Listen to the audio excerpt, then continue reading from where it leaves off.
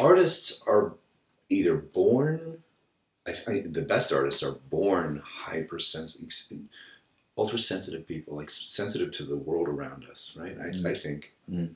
the best ones are, and I think on top of that, then we train ourselves to be even more sensitive, more sensitized to every to take in all the all the the pain around us, all the joy, all the passion.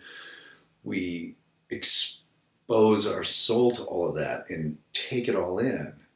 And for me, that's made love deeper. That's made pain deeper. It's made life experience more rich for me. Mm. Just having that as a mission. I've learned to embrace that.